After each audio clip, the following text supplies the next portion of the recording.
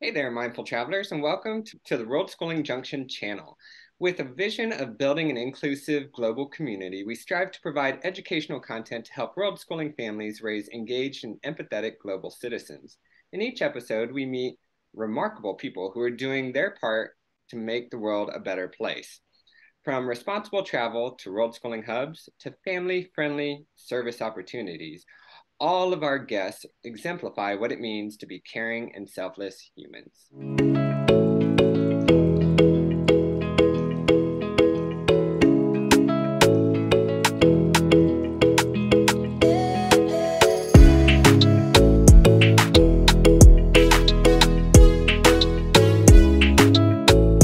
Now, I am pleased to introduce today's guest. Ashley Wright is a homeschool mom of two kids when neighbor problems made their home unlivable, they decided to hit the road. They now live in a converted school bus traveling around the country. Along their learning journey, they uncovered something called game schooling, and I can't wait to hear more about that. So, Ashley, thank you so much for joining us. I can't wait to get into this conversation. Why don't you tell us a little bit more about yourself? Okay. Um, well, I have a education background. I went to school actually to be a zookeeper, but before that, in high school, I student taught violin lessons. And so after I got done with school and realized that the zookeeping field is really hard to get into, especially once I met a man who became my husband and he didn't want to leave the state, it narrowed my options even more. So I started teaching violin full time. And so that's what I did for about 12 years until my kids got old enough to where they were in and out and the house was getting hard to keep clean. And I finally decided, you know, this is just too much. Luckily, it was right before the pandemic hit, so that was perfect timing. Um, and we've started game schooling. Oh, let's see, our son was about five, I think. We were just kind of getting tired of Khan Academy, and I heard about game schooling a bunch, so I finally was like, no, let's just let's try this. Cool. They did more math in less time and harder math than they had done before, and they were having fun, and it was it was amazing. What exactly is game schooling? It's learning through games. So it can be board games, card games, dice games, video games. Um, I you can do like just imagination or um, tabletop role playing games. A lot of people uh, school with games with D and D, Dungeons and Dragons, mm-hmm. and there's just so much learning to be found in games. There's a lot of like educational games, which my game Pizza Parlor is one of those where it's like I designed this game for this specific learning purpose. But there's also a lot of games that are just really really fun, but you happen to lear- be learning a lot while you play them. Yeah, I, I, come to come to think of it, I play a lot of games like that. So I'm looking right, right, right behind our video. We have our like game, uh, game shelf, and we have a couple called Ticket to Ride, and then Trekking the World and uh, does actually have like little things um, where you learn about different locations and stuff like that. And I never thought about it, but you know, like when I play with my daughter, we always have her read those at the end. So is that kind of similar to what you're talking about? Yeah, exactly. Especially games like Trekking the World. I have Trekking the National Parks. Love it. I really want their other two, um, Trekking Through History and Trekking the World, but they're such big games when you're living in a school bus, you really have to choose which games you bring with you. so we have Trekking the uh, national parks for now. But yeah, got so much cool stuff, and you you're learning geography. You're learning about you know some cultural stuff, some habitats and um, ecosystems. There's just a lot too, and it, just, it opens up interest. You're like, oh wow, that national park looks really cool. I wonder what else we can learn about there? Or can we visit it? Or you know, what animals live there? You just there's so many questions that you can ask based on different games. Now, how do you balance the so there there's always that inherent competitive aspect with some games, um, and then the whole other thing of like turning it into work or schoolwork. Like how how do you avoid that trend as well? Well, so as far as the competitive aspect, I do. We talk a lot. For a while, my kids used to always pair it back, and we all had fun, so we all won. my husband used to tease me that I'd make a great t-ball coach. yeah. I was always saying that. you know, the kids go, my son was a super competitive phase, right about five, where like 80 chance of him losing or somebody else winning or something was major meltdown territory. So we hmm. played a lot of cooperative games, and cooperative games are amazing because they have it built in that everybody wins or loses together. So those are one of our favorites. But um, you can turn a lot of different games into cooperative games. So we used to do that too. When my son was like three, he went through a phase where he was obsessed. Yeah, three or a little younger. He was obsessed with Ticket to Ride. We didn't have the junior version, so I got down the board. This was before we had pets. We just put it on the floor, and he and I would draw a card and you know play a car or whatever, and he loved it. But we never kept score, so it was never a competitive thing because it was just oh look at these tra- cool train cars we made. Yeah. uh, but you can do that with lots of other games and just kind of be like, oh well, what's the greatest score that the group can get, or, um, gosh, you know, with Scrabble we never keep score. We just put it out there. We also listen with games like Scrabble, where my kids are just starting to learn spelling. Mm-hmm. They're eight and or yeah, eight and nine now, so they're you know at that phase where they're starting to get the hang of it but it's still really challenging for them. So we freely exchange tiles, we suggest words, we kind of just build a group crossword puzzle together. Oh wow. Um, but as far as keeping it from turning into work or like you know, school work, there was a period of time that we did a math game every morning, and it does kind of get a little bit okay. Well, this is you know this is the next step, and just kind of a little boring. So we mix that up by making sure we have plenty of different games and there's tons of free print and plays that you can do that can help add variety if you're like, well, more games is great, but I don't have the money. We also do um, a lot of thrift shopping for games, so that's a good way to add more variety in. Making sure that you're not just playing those schooly games, but playing the fun ones. So, um, Boss Monsters is one of my son's favorite games ever. It's kind of like a reverse munchkin are you familiar with that game where it's a card game that you're it's a spoof on d&d you're okay. Draw you're opening up doors fighting monsters and stuff. Well boss monster you're the monster building a dungeon trying to kill off the heroes. Mm-hmm. so my son loves it. Anything fighting he's all over. There's tons of math in there. You know all the trying to keep track whether or not you kill the hero what um, power what damage your rooms are doing. There's math built into it and he's not having to go okay another worksheet but it's right in the game so games like that are really i think key to making sure it stays fun. That's really cool. Now did y'all do this? So i know you said you're a you're a mother too you have a husband right? Like did do you all do this together?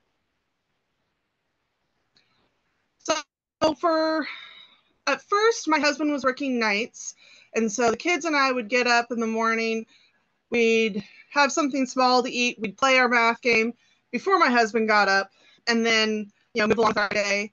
We went through a phase where we played after we had breakfast with my husband, and we all played together. Now we honestly don't play as much as we'd love to because we are traveling and there's so much else to do. but we record a game every week usually, sometimes two and um, then we try to always play together. Sometimes one of the kids or another won't play with us because they're just not in the mood. I think that's another really important thing is that games be optional. You know, if the games are required, then it's like, okay, well, I have to do this. But if it's like, hey, the rest of us are going to have a yummy snack and play this great game, do you want to join in? And if they say no, that's okay. But if they say yes, then they get to also enjoy the yummy snack. That's what I was thinking. Incentivize it with IT. So, um, taking a taking a step back to you talked about the converted school bus. How, how about you tell us a little bit about that? I'm curious what got you on that path and what that journey was like to actually create this and get on the road. Yeah. So when we decide, when I just I looked one day, I was like, you know what, we can't live here anymore. We were afraid to walk out our front door. It it was not good. So I was like, you know, they're never going to change our neighbors. They're not moving. We just, we've got to leave. I looked briefly into just moving, um, but we were living in Western Washington, and that is a very expensive area. Oh yeah. we couldn't afford anything. Yeah, we couldn't afford anything that was like what we already had. And my plan B had always been to world school. And I told my husband this years ago that if things go south with the farm, we're just gonna sell everything. We'll fly to South Africa, travel up. I had this whole route planned. Like I knew exactly what I wanted to do. So convincing him to instead of sell everything and travel the world with two little kids, it was really easy to convince him to let's just sell most of our stuff and instead travel around in an RV and you know stay in the states. And so that was a pretty easy sell. Then was looking at RVs, I saw a ad on Facebook for a company that did school bus conversions. And I always thought that a schoolie would be really cool, but my husband was working full time. I have, I am fairly physically capable, but I've got some limitations. And with two small kids and everything else going on, there was like there was no way we were going to be able to convert our own bus. So I contacted this company and realized that hey, this bus, if we convert our own bus, it would cost about the same as buying a new truck because the truck we had wouldn't be enough to pull the RV we would need. And an RV, even if we bought a used RV, there was you know the trucks are so expensive. The school bus was a better deal, so we con- uh, contracted with them to build it, and they did a lot of the work.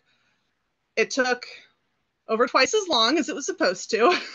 it was supposed to take three months. It took six. And my husband had to go out to Idaho to help them finish it, get to a spot where he was comfortable finishing it the rest of the way. And then he brought it home and had to finish the flooring. Um, he had to do the some plumbing stuff and propane leaks leaks and so he had to do a lot of repair of this sort of brand new school bus. But you also hear that with rvs all the time that as soon as you get them they just start breaking. So it wasn't that bad of a deal. Um, but yeah so we hired a company to do it and then we kind of made it our own. That's really cool. Now you, you mentioned you're traveling a lot and then you were trying to incorporate all these games.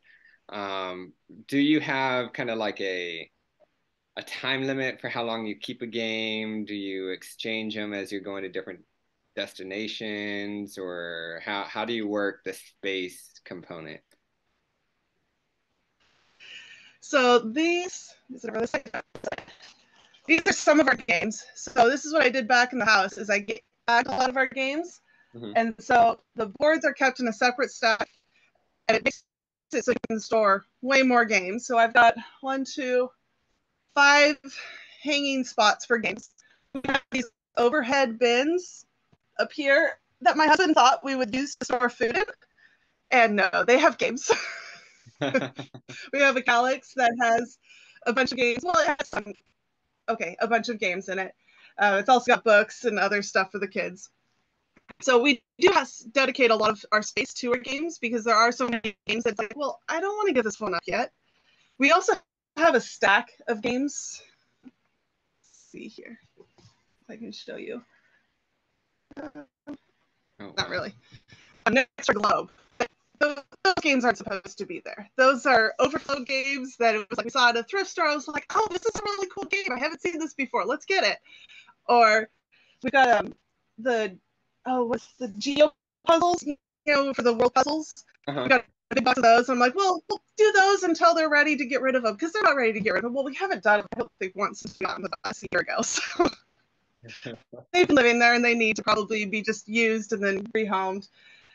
But for a long time, my kids, you know, they when they're young, they progress so fast and change so fast that it's really easy to cycle through games and be like, oh, well, you've outgrown this game, so let's move it along but now my kids are getting to the point where they can actually play adult games you know things like ticket to ride and trekking the national parks you know games that adults like for fun so it's not as easy to um, change them out I do have so for my blog Gypsy Game Schooler, I review board games. So that's one of my hard limits of well, I have to review the game and we have to have recorded it before we can get rid of it.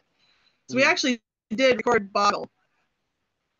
We haven't really played Boggle at all, and I finally realized, you know, I like this game. I like the theory behind it, but I'm very noise sensitive. So anything that's really loud and rattly, it's just not going to get played in our house. So we recorded it and then we got rid of it. it was just one of those like, well, this isn't going to last. Mm.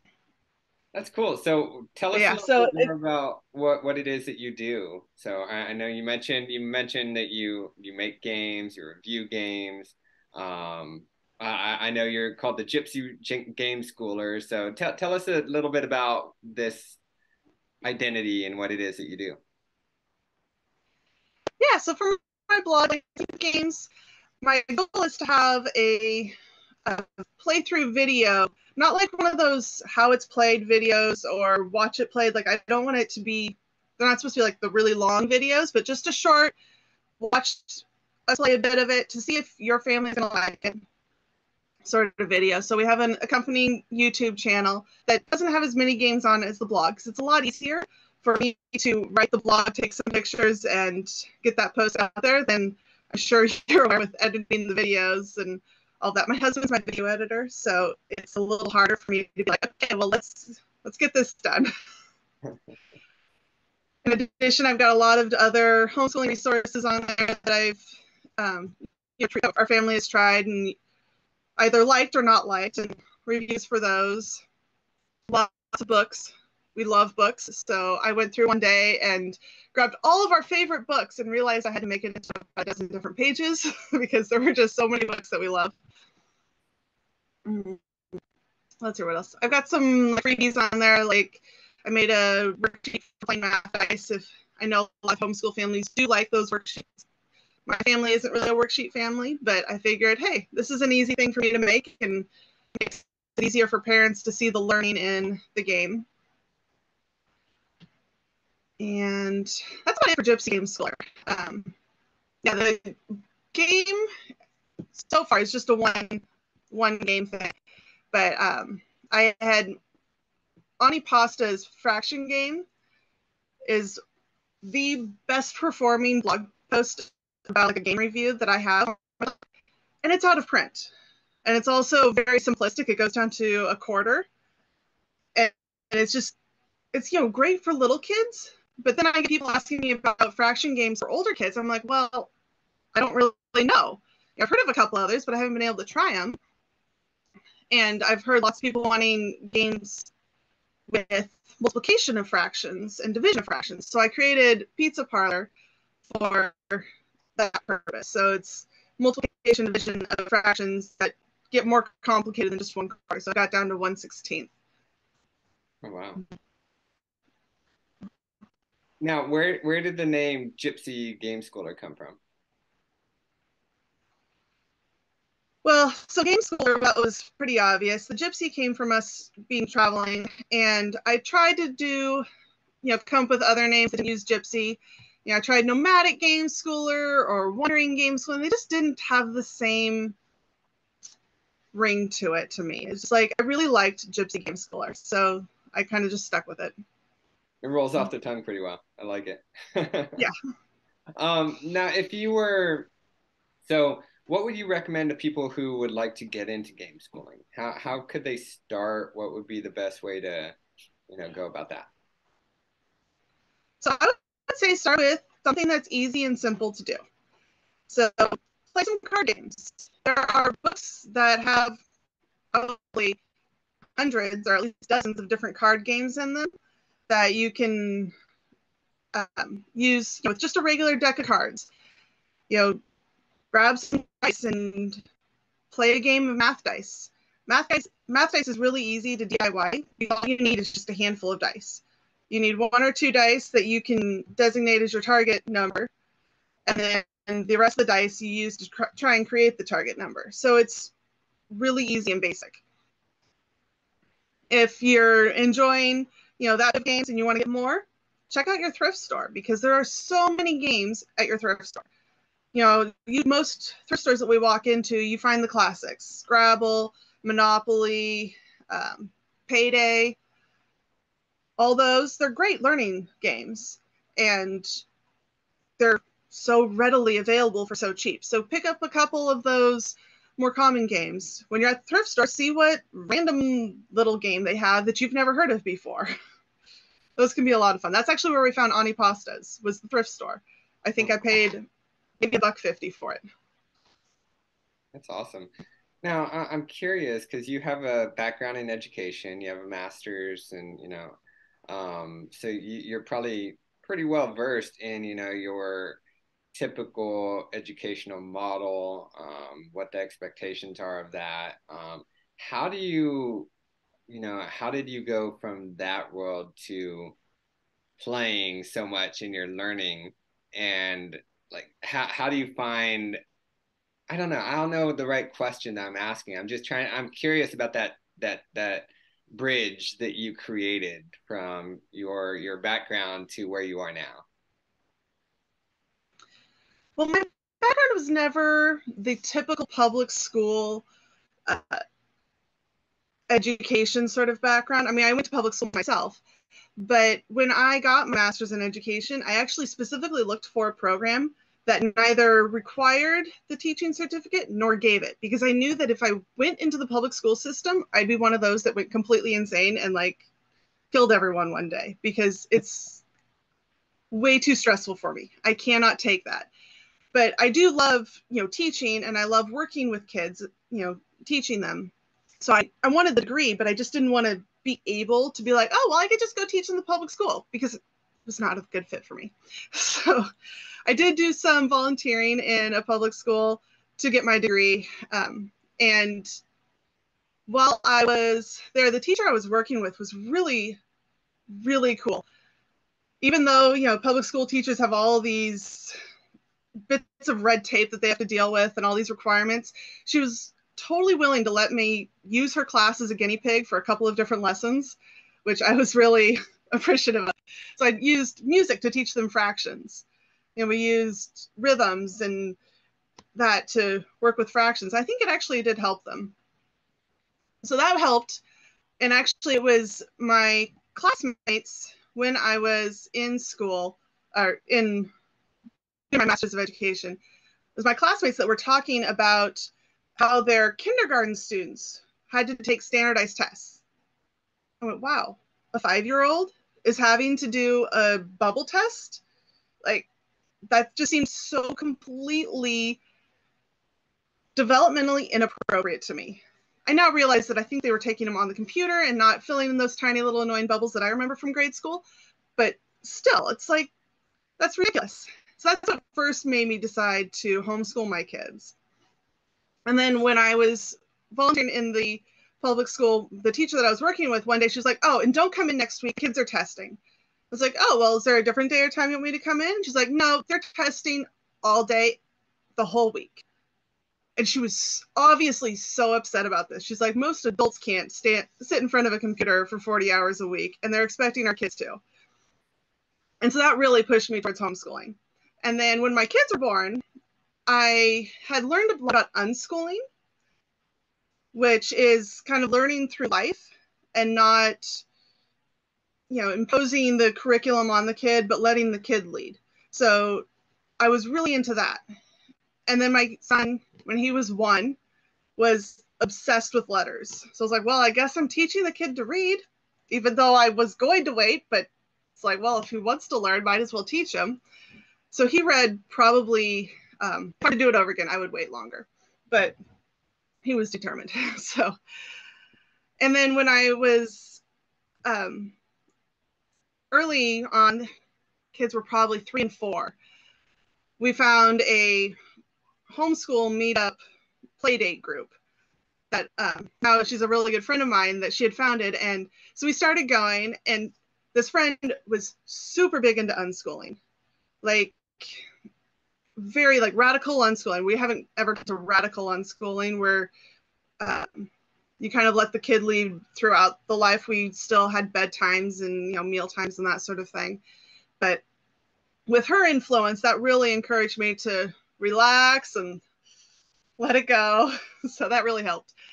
And yeah, just finally trying game schooling. That was such. I mean, it was a game changer for us.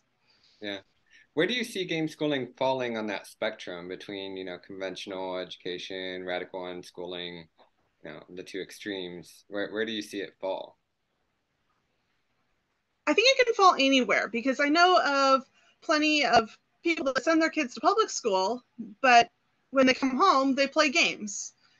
And so they're, you know, call it after schooling or whatever, or summer schooling, where they focus on the games during their time. There's also people like us that are more unschooling that just incorporate a lot of games into their lives and everything in between. We also like to do a lot of unit studies. So, I mean, I guess you could call us eclectic, but yeah, so I think you can apply game schooling wherever you fall on the spectrum, but I think it probably naturally falls closer to unschooling. But I mean, you can apply it. You, know, you can say, oh, well, today we're going to do fractions. We picked out these two games that we're going to play for fractions, and we're going to play this game for studying the Civil War or whatever. Very interesting. Um, the last thing, because we're running short on time, the last thing I wanted to ask was socialization component. That's a big thing that we talk about in alternative education from world schooling to unschooling. Um, with game schooling, I feel like it, it just inherently has a socialization component. Um, but have you found? Well, I, am thinking from the from the aspect of playing with other kids, but then uh, I know you guys are, you know, kind of your tight knit group traveling around the world, traveling around the country. Um, have you found opportunities to incorporate socialization, or are there ways to do that with game schooling? Absolutely. I will point out that there are a lot of single player games, so it doesn't have to be group activity.